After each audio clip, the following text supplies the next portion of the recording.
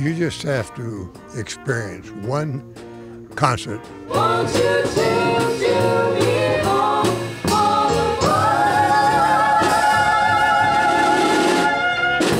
Retired Colonel William Holmes is among the captivated audience members, listening to songs being sung by Cassandra Sanders and her band, professional musicians who are committed to using voice and song to thank veterans for their service.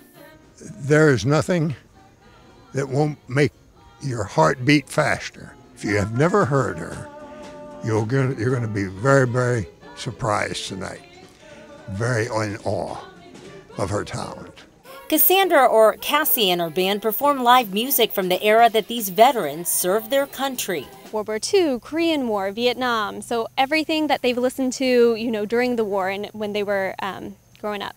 Cassie launched her nonprofit Voices of Vets after she discovered the power of live music during what she thought was a one-time performance at Charlotte's Hall Veterans Home in 2016.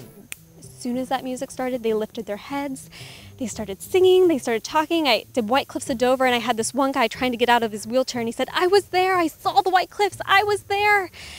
And it was at that moment that I thought, oh my gosh, here are our heroes. Here's our World War II veterans, the greatest generation, our Vietnam vets who came back with such a poor reception. They sit in these vet homes and they're lonely and nobody visits them. And this is something, this is something that they enjoy. This is magic. This brings them back, especially for those who deal with Alzheimer's or dementia and even stroke victims. Um, it's very therapeutic. Once the music starts, it doesn't take long before the audience is moved to sing and, in some cases, get on their feet. The flags start waving when she's singing, and uh, it's you see people's faces light up. You see, you know, we're not forgotten. Somebody knows us. Somebody is thinking about us.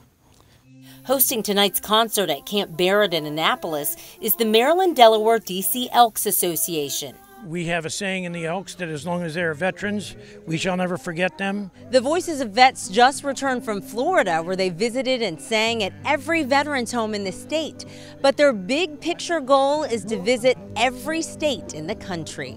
It's been a great run, and uh, I take uh, great pride in realizing that Cassie started all this because of a course she took from me it turns out Colonel Holmes is the former tutor who convinced Cassie to use her voice to give back to veterans three years ago. And it all goes back to Colonel Holmes telling me, go sing for the vets at Charlotte Hall when I was 18. And I, that time, didn't have time, was busy with my life. And in my mid 20s, went back and did that, and it changed my life. And um, I will be forever grateful for Colonel Holmes for telling me that, but also how lucky am I, I get to spend so much time with our veterans, and they're our true heroes.